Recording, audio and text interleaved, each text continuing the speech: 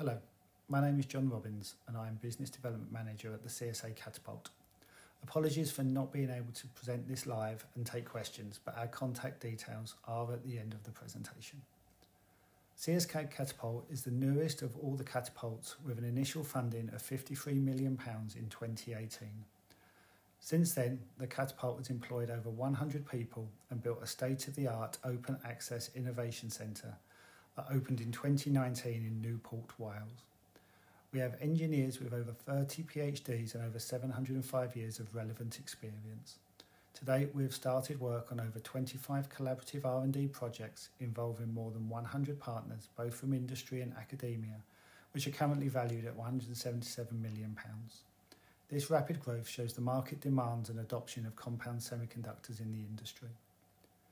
We're also very proud to have become a DER industrialisation centre as part of the UKRI's Driving the Electric Revolution Challenge. And in early 2020, we became one of, if not the first catapult to become registered as a KTP knowledge base and can now work with universities as a shared knowledge base or direct with industrial partners.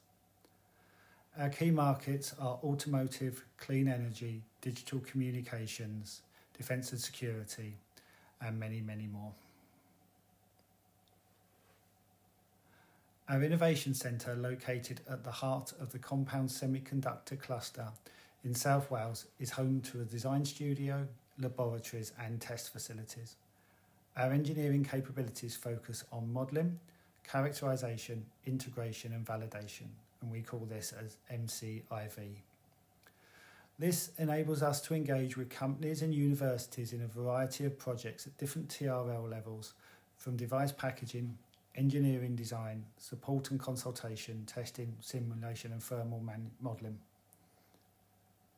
Internally, our engineering teams are split into four main technology areas that closely align to key applications for compound semiconductors.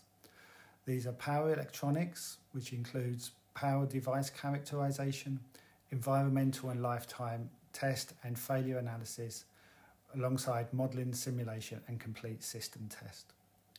RF and microwave focuses on RF power and low noise amplifiers, including device characterization with on wafer measurements possible. Photonics focuses around PIC test and assembly, reliability, and lifetime testing. We also have an advanced packaging lab in a class 10,000 clean room where we can do device and component assembly from die attach and wire bonding, submicron assembly and inspection capabilities including X-ray CT.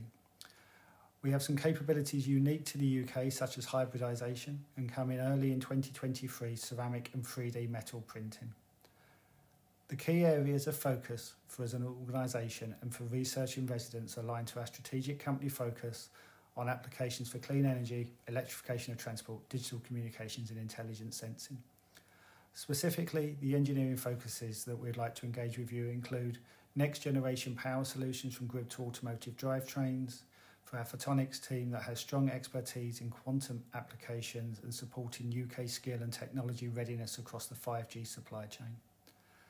As a catapult, our job is to enable design activity across both academia and industry as a neutral supply chain convener that enables multiple end markets and encourages fertilisation of ideas.